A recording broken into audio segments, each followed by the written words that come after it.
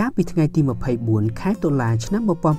1995មានការកើតមាននៅសូរគ្រាសពេញវងនៅក្នុងប្រទេសកម្ពុជាហើយនៅវេលាម៉ោង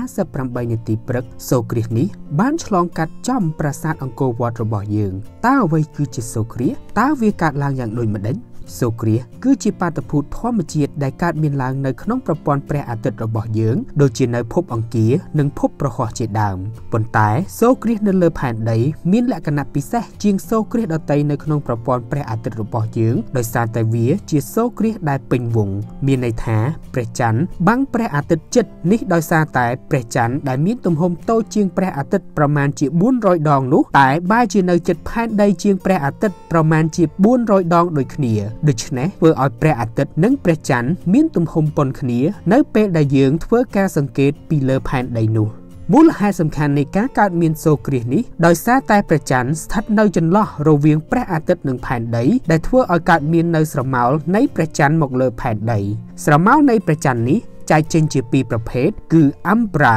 ជាតំបន់ដែលពន្លឺនៃព្រះអាទិត្យត្រូវបានបាំងជិត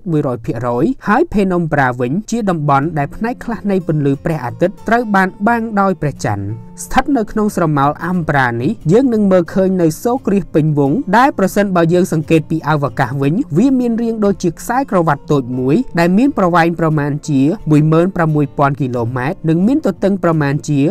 160គីឡូម៉ែត្រដែលនេះគឺជាសូរគ្រាសប្រភេទទី1នៅក្នុងចំណោមសូរគ្រាស4ប្រភេទទៀតផ្ទុយទៅវិញស្ថិតនៅក្នុងកំឡុងពេលនៃសូរគ្រាសពេញវងនេះប្រសិនបើយើងធ្វើការសង្កេតការនៅក្នុងស្រមោល Penumbra វិញនោះយើងនឹងសង្កេតឃើញនៅ partial eclipse ឬសូរគ្រាសដោយផ្នែកដោយសារតែព្រះច័ន្ទបានបាំងព្រះអាទិត្យដោយផ្នែកខ្លះតែប៉ុណ្ណោះដែលនេះគឺជាសូរគ្រាសប្រភេទទី2សូរគ្រាសប្រភេទទី3គឺ annular eclipse ដែលកើតឡើងដោយសារព្រះច័ន្ទមិនមានទំហំធំគ្រប់គ្រាន់នៅក្នុងការបាំងព្រះអាទិត្យនោះទេ គឺព្រះច័ន្ទបាំងពន្លឺនៃព្រះអាទិត្យចំកណ្ដាលទុកឲ្យពន្លឺផ្នែកខ្លះដែលស្ថិតនៅតាមគែមនៃព្រះអាទិត្យចាន់ចេញមកក្រៅបានរីឯ hybrid eclipse គឺជាការរួមបញ្ចូលគ្នានៃសូរគ្រាសពេញវងនិង annular eclipse ដែលមានន័យថានៅពេលដែលកើតមានសូរគ្រាសមួយកើតឡើងនៅតំបន់ខ្លះយើងសង្កេតឃើញនៅសូរគ្រាសពេញវងនិងតំបន់ខ្លះទៀតយើងអាចសង្កេតឃើញនៅ annular eclipse ទៅវិញអត្រាភាគរយនៃការកើតសូរគ្រាសទាំង4ប្រភេទនេះ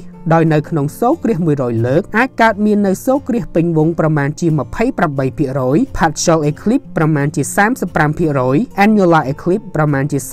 32%និង hybrid eclipse មានត្រឹមតែ5%តែប៉ុណ្ណោះ ជាទូទៅសូរគ្រាសកើតឡើងប្រមាណជា2ទៅ5ដងនៅក្នុងមួយឆ្នាំដោយសារតែកន្លងកោចររបស់ព្រះច័ន្ទជុំវិញផែនដីនោះមានការផ្អៀងប្រមាណជា5ដឺក្រេដែលធ្វើឲ្យសូរគ្រាសមិនអាចកើតមានជារៀងរាល់ខែនោះទេទោះបីជាព្រះច័ន្ទកោចរជុំវិញផែនដីមួយជុំជារៀងរាល់ខែក៏ដោយប៉ុន្តែជាអកុសលព្រះច័ន្ទបានកំពុងតែឃ្លាតចេញពីផែនដីប្រមាណជា4សង់ទីម៉ែត្រនៅក្នុងមួយឆ្នាំ មានន័យថានៅក្នុងរយៈពេលប្រមាណជា600លានឆ្នាំខាងមុខទៀតផែនដីនឹងមិនកើតមាននៅសូរគ្រាសពេញវងតទៅទៀតនោះទេ នៅក្នុងរយៈពេល600លានឆ្នាំនេះយើងអាចមើលសូរគ្រាសពេញវងបានជាច្រើនលើក តែយើងត្រូវមានការប្រុងប្រយ័ត្ននៅក្នុងការសង្កេតសូរគ្រាសនេះពីព្រោះសូម្បីតែពន្លឺតិចតួចនៃព្រះអាទិត្យក៏អាចធ្វើឲ្យភ្នែករបស់អ្នកខូចបានដែរដើម្បីធ្វើការសង្កេតបាតុភូតធម្មជាតិនេះប្រកបដោយសុវត្ថិភាពនោះយើងគប្បីតែប្រើវ៉ែនតាពិសេស